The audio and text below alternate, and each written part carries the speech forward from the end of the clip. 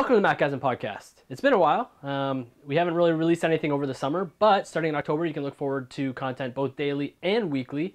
Um, but until then, we thought we'd release this nice little episode because some interesting information came to light today as iOS 4.2 was shipped to developers.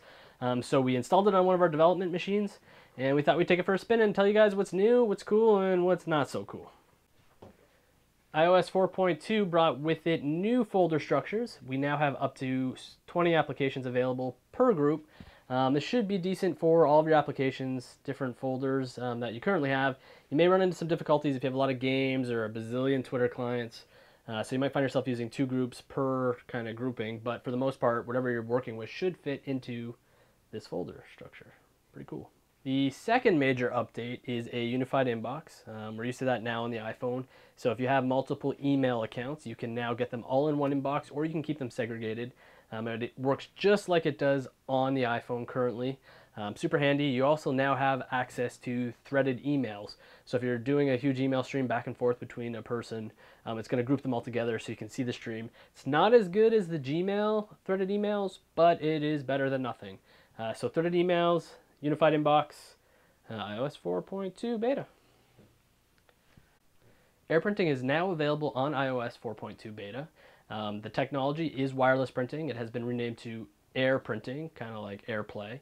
Um, so essentially what happens is all the Apple applications currently um, that have had updates for iOS 4.2 now gives you the ability to print directly from application to a printer wirelessly, which is pretty handy. So as you can see here, um, what you do is you just click on the share button that you normally have in, uh, for instance, the photo application, and you'll be met with the option of print. So you click print, and you can, from there, select your printer, uh, select the number of copies you want to print, and then click on the print button.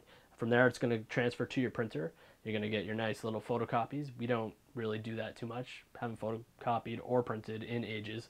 But if you're the type of person who does print frequently, this functionality is going to come in very handy.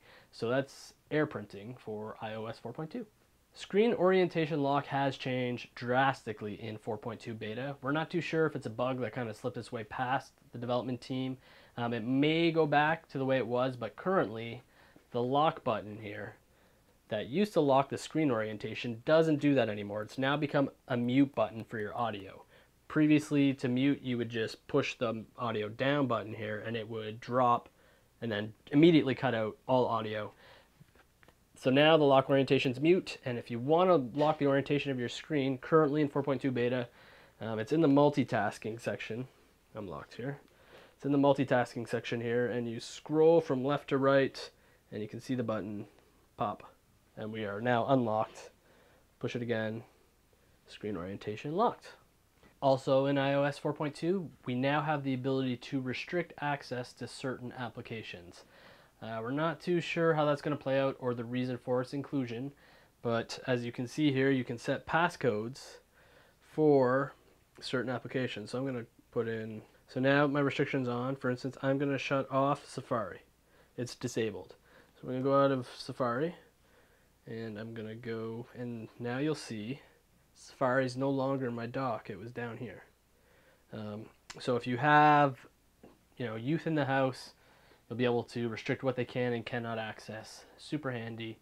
Um, so that's pretty interesting. Also available in iOS 4.2 is a new accessibility feature that lets you increase and decrease font sizes uh, for text and contacts, mails, messages, and notes.